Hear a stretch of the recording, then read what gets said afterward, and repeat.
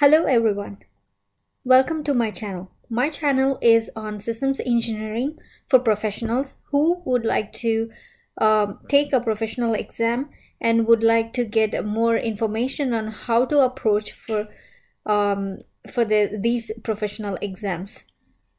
I will be giving a brief introduction video in which uh, I will explain what the systems engineering concept is and then provide you some uh, insights into different professional exams. In my following videos, you will be uh, looking at how to register to one of uh, the uh, exam that I mainly will be um, preparing for and um, logging throughout my channel. So this is one of the famous code. It's one small step for man, one giant leap for mankind. I feel that this code is really uh, correlated to the systems engineering concepts because if you do not design the system appropriately, it can cause um, significant impact to the mankind.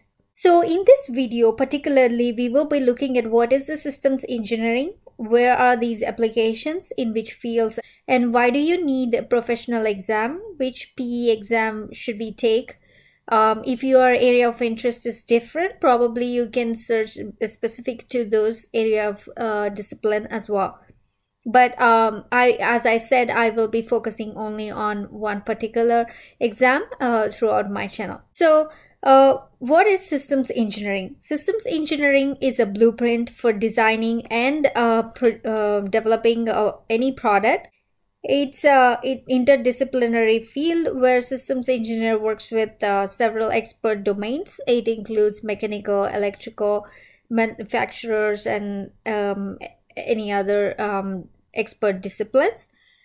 Systems engineer takes the customer needs and they translate into requirements. They define the requirements at a system level in their development stage.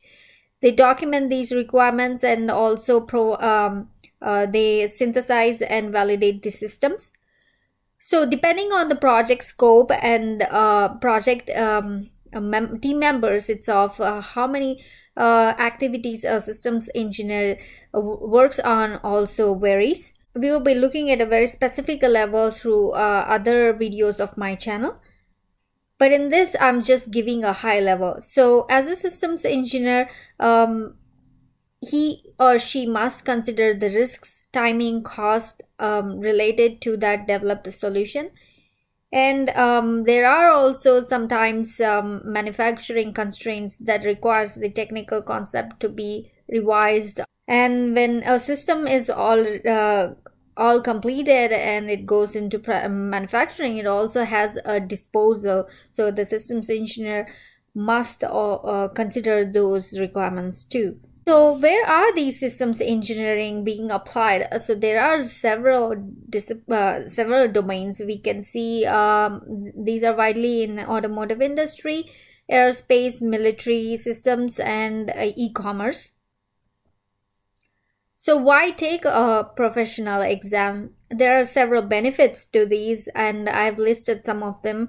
Uh, it will help you go uh, get through the interviews uh, if and also uh, be more confident in your job. The exam summarizes um, pretty simply uh, it, the study material and everything will provide you so much guidance that it will help you ease of work during your day-to-day life. And uh, you will be becoming an expert at, at in your domain obviously. That's one uh, big leap in your career. And the final thing is uh, higher compensation which obviously comes because um, you are going to seek for more better opportunities and you uh, show the proof that you are certified systems engineer.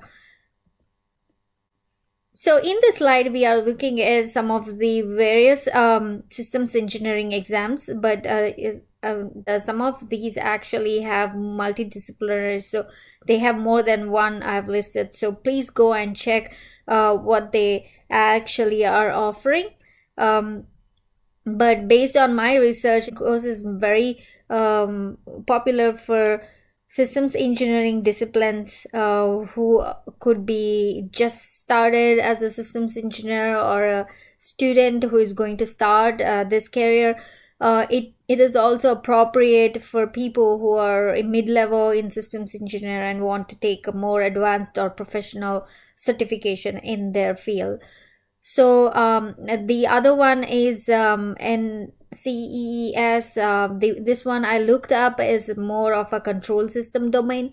So if you are working in that control system domain, it is more uh, reasonable to take this kind of exam because it will guide you through the uh, technical concepts of those.